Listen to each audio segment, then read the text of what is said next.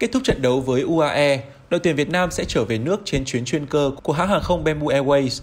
Thông tin mới nhất, theo chỉ đạo từ Phó Thủ tướng Vũ Đức Đam, chuyến chuyên cơ chở đội tuyển Việt Nam sẽ hạ cánh ở Đà Nẵng để 110 công dân nhập cảnh cách ly tại cơ sở quân đội.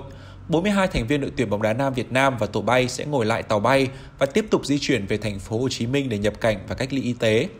Chuyến bay chở đội tuyển Việt Nam mang số hiệu QH9305 khởi hành từ Dubai lúc 0 giờ 40 ngày 17 tháng 6 và hạ cánh tại sân bay quốc tế Đà Nẵng 7 giờ 35 ngày 17 tháng 6 theo giờ Việt Nam.